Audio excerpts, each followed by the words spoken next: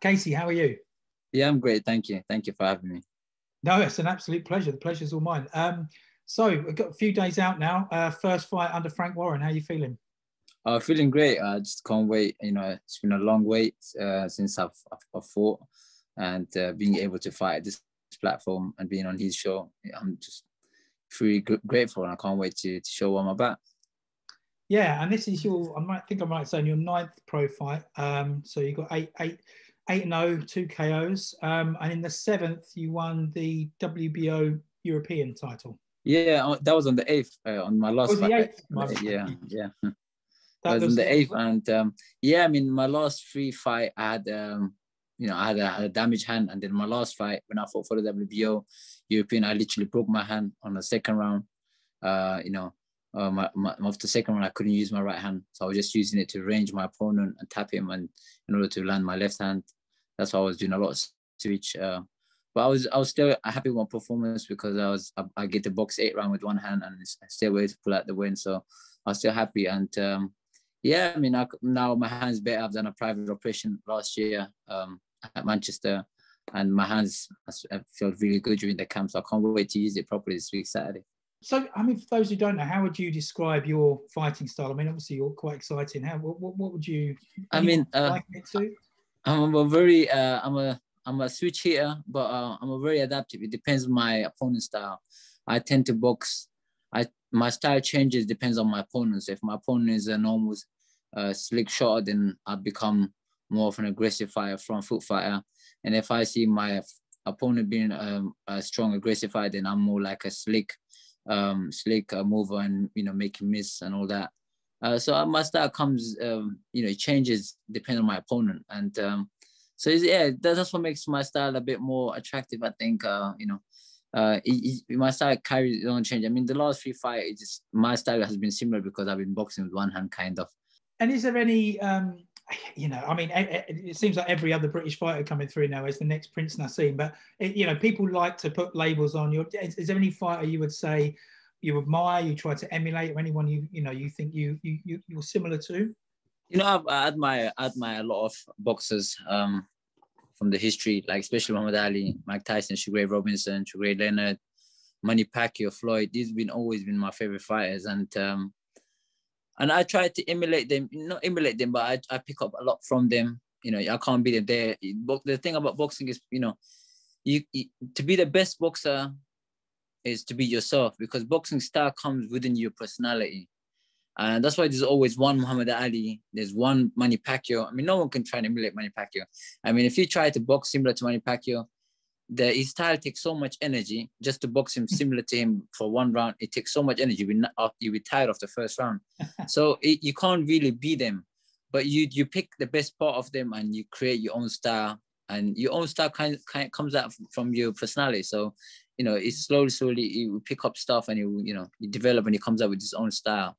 And um, I think uh, for me to be the, to be able to, like, I'll combine like Muhammad Ali, Leonard, Floyd, Tyson, you know, I, I, pick a bit of, from all of them and these are my favorite fighters. So, uh, but not trying to emulate them. I mean, for instance, him, I like him, so I'll pick up certain shots that I like from him. I pick it and I use it.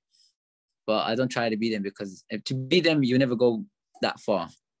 Cool. Um, listen, we'll come back to boxing in a minute, and I know, you know, you, you, you've, you've probably been asked this a hundred times, but your, your backstory is, you know, slightly different to to most of the boxers. And now you you came from Afghanistan, um, and like pretty horrific right from from day one for you, wasn't it? Can you just, you know, like yeah, man. I mean, I was born in Kabul uh, in 1994, and you know, that time the Taliban took over.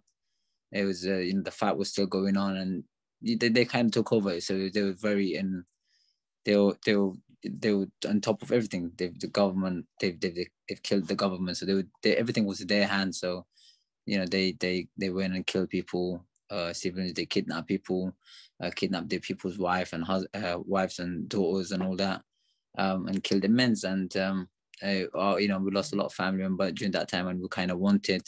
So um, by then because of the way we look. And um, in 1998, we decided to leave Afghanistan. Um, and that's when the war started as well, because I think that's when the US and uh, UK they wanted to get rid of Taliban, so they would start bombing everything, and a lot of civilians were dying due to the rockets going in there. So it wasn't a safe place for us to be there. So we left in 1998. We become a refugee in Pakistan, and we was there for like um, two years until people came over there and caused problem for us there, uh, putting a gun on my dad and all that, and then uh, threatening on us. And then my brother that was here, um, you know, he he got caught already in Afghanistan by Taliban. He was beaten very badly, and he left very early. He left Afghanistan, I think, in 1996, so it was in 1997. But he was here in 1998. He came in an easy way on an airplane, and um, you know, in 2000, he wanted us to come UK, uh, make our journey to UK because of what happened in Pakistan. So, um, yeah, and we started our journey, but we wasn't travel like how we did. Uh, he came in an easy way, and we because we were a big group of us, so we came by traffickers, and you know, we came on foot, and it took us about two years countries to countries hiding and uh, because the police are different to the UK police. I mean, people don't understand that when you pass in uh, in Europe, when you are crossing borders and that, the police are very brutal. When they catch you, they beat. There's no, you don't get. There's no human right there. They I mean, they've. If you look uh, now, there's phones or there's videos of uh, refugees being actually killed by the the police, and um, you can see how violent they are. But before that, at our time, there wasn't, so nothing would have got to the media. A lot of people died crossing the, the borders, and you know, um, uh, all of that. So it was in very fear, was crossing the, you know, through jungles and thing was hiding in, in, in, a small room for like weeks and months, and that in Russia, we, you know, it, when, and we eventually we made our, we, we eventually made our journey to uh, Germany. When we were in Germany, Germany, we wanted to kind of settle down because we were so tired of of the journey getting to Germany. I mean, it was it was so hard. It was a long journey, so we were kind of tired. Which like we wanted to say let's stay, so we kind of give ourselves to the government, and the government treated us well. Germany was really nice country where we they were actually cared about us. They said they gave us a flat, they were giving us food, and we kind of and then but um you know they they wanted us to stay. They was promised us we'll give you the visa and everything, and but the you know from the from the beginning of the journey, the, uh, my family's aim was to get to here, and they didn't feel like they've reached their goal, so they're like, nah we've we started a journey to get there and let's just finish it. Um, so yeah, I mean, uh, we stayed six months in Germany and then went to Paris. We was in a camp, attempting, attempting on lorries to get here. And you know, you, you we moved by traffickers. With traffickers, nothing is guaranteed. They get paid, they take it to one spot, and then you wait for another guy, and then the other guy moves you to a different spot. So you don't know none of the traffickers like that. And they all had specific jobs, and they nothing nothing is guaranteed. So when they put you on a lorry, it's not guaranteed. They take your money, but it's not guaranteed. They just come into UK. So on our third attempt, we eventually got here. And when we did, uh, you know, when, I remember when I was when it was in a I was inside an Apple van. It was like an Apple lorry, and it, you know the the, uh, it was like a refrigerator inside. So and I was on top of the refrigerator where the windows coming out. It's frozen. And uh, when we when you got into London, the police, you know, when we uh, banged the lorry for the police officer to, I mean, for the driver to let to let him know that we're here, and then he called the police. And the police, when they opened the door, and uh, the first person they pulled up was me, and I was just happy to be out there. And I could, if I think for four five more four five, five more hours, I would probably die there, man. But I was just grateful. I mean, since there it was like, it's like we reached heaven. So it was so, it was so relief. It was so happy that we get to UK, and you know uh, we was moved to um, know, the police took us to a cell, obviously to find out who we are. And um, my brother put a case away that we're gonna be here, and so he he filled in a form that he's gonna look after us because he had a little business and that he's gonna fund us and all that. Um, so he took us, and yeah, we moved to Dawson, and since then till now, it's been history. It's been it's, been, it's a great journey, and uh, I can never forget that journey. And that journey made me who I am. So I'm using the same mentality to get to, uh, to, to, to get to the top of the boxing. Yeah, I mean, just listening to you there, it's extraordinary. I mean, you've got to bear in mind that at the end of the journey, you were still only eight years old. So yeah. All that trekking through the jungles, hiding in rooms in Russia. You were yeah. sort of four, five, six years old. Yeah, I mean, I was uh, when we left, I was I was uh, six, six and a half to seven uh, for the journey. Uh, when I got to UK, I was eight. Uh, so it was uh, from six to eight. My journey was from Pakistan to here, but um, I was around four to six I Pakistan, and um, yeah, but I mean the journey. I remember the journey because I was so small. I was getting dragged, and there was a lot of babies, so the baby was getting carried, and I was kind of getting dragged. And uh, there was a part I remember walking through the jungles. My my my leg got stuck in a mud. My shoes got stuck, so nothing was left, and I was walking bare feet on the jungle, and my feet was all cut up. And I remember was put into a small little room by traffickers to wait there for like I think 12 hours or eight hours until another driver comes pick us up. And I was hungry and I was crying and, and you know my family was scared of their life not to get caught, so we couldn't make noise. And I remember I got my first beating to stay quiet. And I remember till now, you know, I got pretty bad beaten, but it was I understand it was it was the that beating was I think better than getting beaten by the uh, police border officers. You know, they would have been more brutal. But uh, yeah, I'm just happy. But when I look back at it, it was it felt like a great adventure. You know, because I was young. I mean, I didn't know the, but yeah, definitely, man. It was. God, and, and your dad, it sounded like, you know, you must have been like four. You said they pulled a gun on him. He, he was like lucky that he got to that part of the journey, really. Yeah, my dad, my dad's uh, old. Like I said, my mom and dad, when we got to UK, I mean, they, you know, they didn't have to leave Afghanistan or Pakistan, leave their brothers and sisters. They could have still left there. They could still hide, but the, their whole aim was for us, the, the, the children, to have a better life and give us an opportunity to live better and live safer. And um, so that's when, when, I'm here now. You know, my dad's very old. He's given us everything he could. Now I'm just here to, trying to make them proud. And you know, my mom, my mom was a great woman, and you know, I lost her last year uh, due to cancer. And you know, she fought very strong. She was given six months. She fought for two years, like a true champion. And you know, and uh, it was unfortunate she passed away last year. And um, I'm just want to make them proud, and I know she's going to be watching above. And if I can make her proud, it'd be great. Yeah.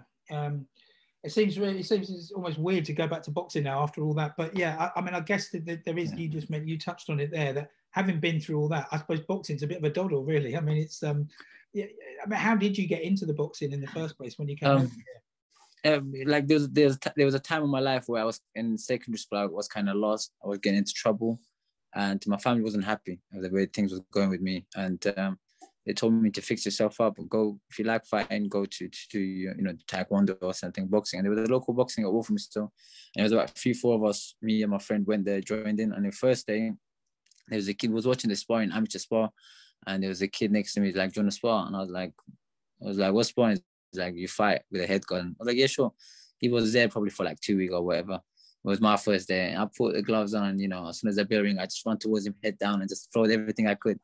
And I looked down within 10 seconds, he was on the floor, you know, on the on the floor, and the coach was like, "Listen, kids, you got speed and you like to fight." And I was like, "Yeah." So we carried on training. I improved after like four five months.